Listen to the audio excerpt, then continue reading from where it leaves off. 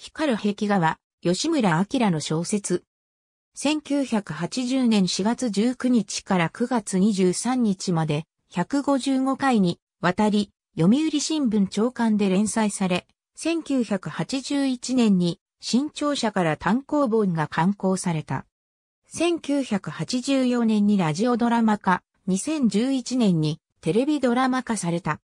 東京大学の医師とカメラ会社の人々が胃カメラを開発した実話にフィクションを加えて描かれた小説。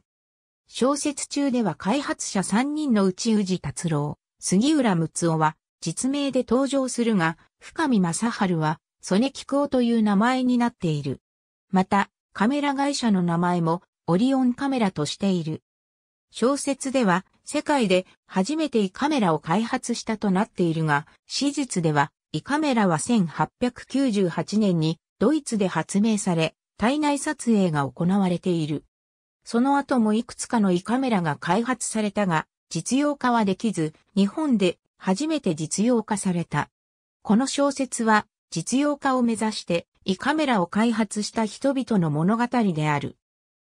ウジラが開発した胃カメラも臨床現場では使い物にならず半ば放棄されたような状況になったが、独自に研究を進めていた東大病院本院の崎田隆夫たち、研究を支援した深海、中坪久夫、松橋明をはじめとする技術者や関係者により実用化され、今日の内視鏡医療発展の基礎となった。小説をもとにしたドラマがラジオやテレビで放送された。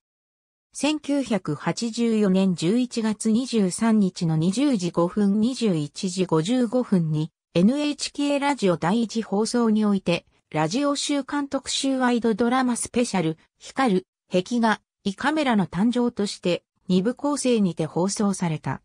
2011年10月1日の21時22時51分にテレビ朝日系列において、オリンパスドラマスペシャル光る壁画として、オリンパスの一社提供にて放映された。視聴率6.8%。開発者3人のうち宇治達郎は、梶哲郎、杉浦睦夫は、松浦達夫、深見正春は、原作と同じ曽根菊夫という名前で登場する。ありがとうございます。